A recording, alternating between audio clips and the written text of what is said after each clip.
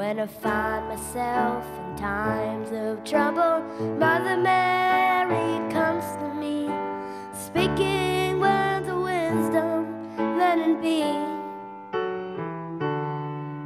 And in my hour of darkness, she is standing right in front of me, speaking words of wisdom, let it be.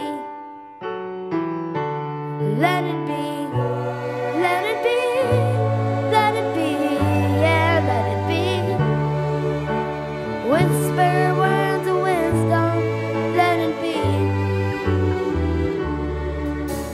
when the broken hearted